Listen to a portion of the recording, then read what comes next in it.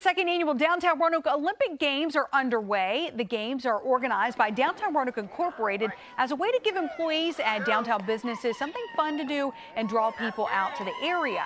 Six businesses are participating. The employees at each business compete as a team.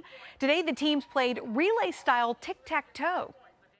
Downtown is a really fun place to work. There's so much right outside of your doorstep, so we really want to, um, you know, entice people to come downtown. There's a lot of great employers down here, and this is just a way to make it even more fun than it normally is.